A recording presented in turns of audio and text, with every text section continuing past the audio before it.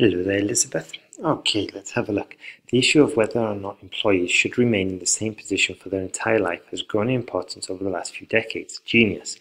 Even though long-term posts have numerous advantages such as stability, okay, it would have been a good idea because we put advantages and then we give an example. We could say such as stability, career progression, and familiarity.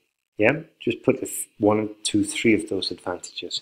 I largely believe that certain changes throughout career progression could mean not only professional development, but also personal growth. Genius. It says they will discuss why posts changing, or why post changing, or even better, why changing posts is a positive practice and the path to follow. Very good. Wonderful start.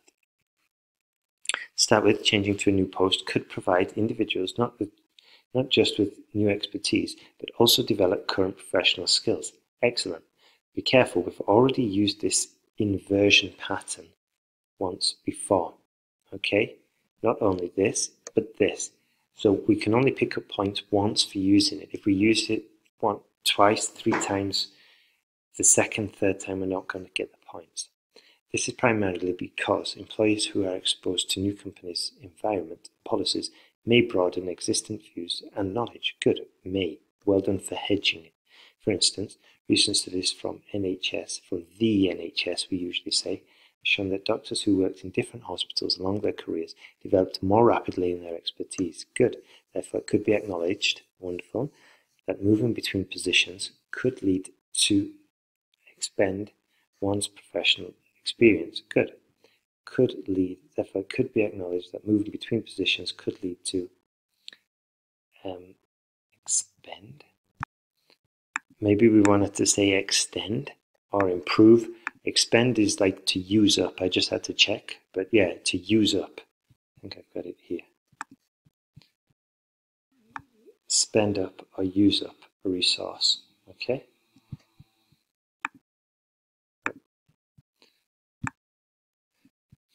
What is more? Being here, we can use firstly, and here we can also use secondly, or furthermore.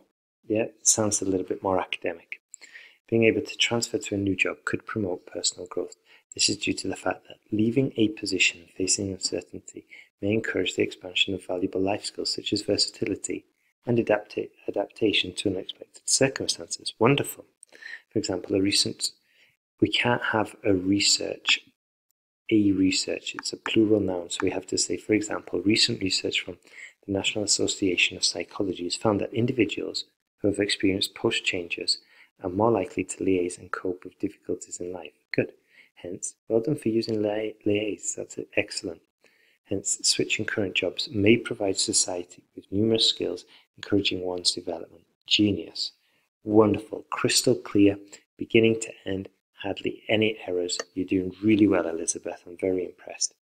To conclude, it should be noted how employment change from time to time may be seen as a positive approach to develop per both personally and professionally.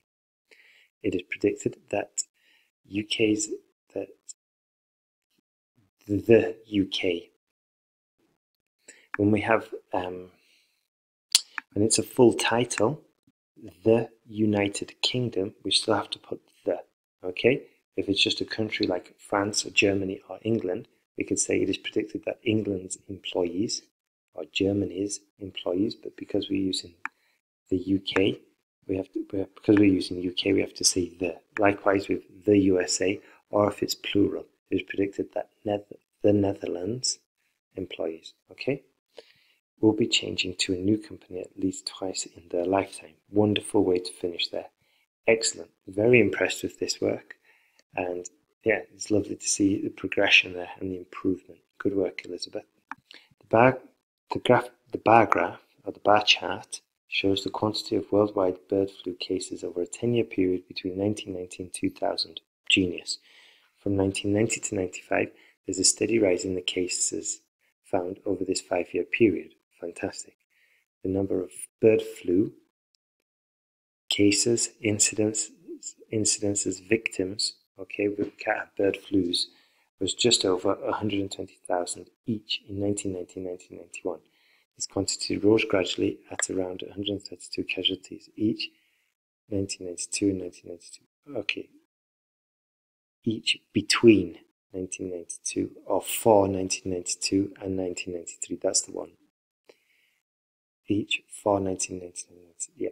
In 1994 and 1995, the gradual increase continued at near 140,000 and around 145,000 respectively. Good work there. Very good. Now, as you can see, we've kind of fallen into a list. Okay, we're going into every single year. We could improve that by saying the following year, the preceding year, the next five years, the next two years, you see? And this way we can just introduce more variety into our language, into our report.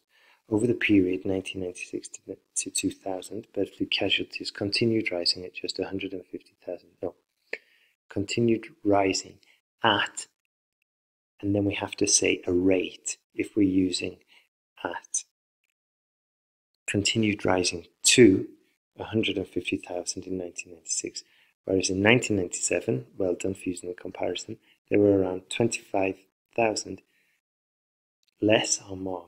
I'm kind of confused now. So that was 150 96.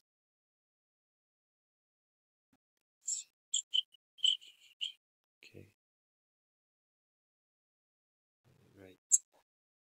So I'm guessing that's more. Yeah there were around 25,000 more cases as in 1996, being the highest number in the 10 year period analysed. Okay, yeah. Mm -hmm. Then the casualties levelled off. Good. Until the end of the period, have a mining, having a minor decrease in 1990. Good. Very good. Accurate. And well done for noting the small uh, levelling off there and good use of the term. Overall, the number of casualties rose gradually from 1990 to 1996, where a peak was reached in 1997, levelling off until the end of the period with a minimal reduction in 1999. Good. Excellent. I think we did we used yeah, unfortunately we used leveled off twice.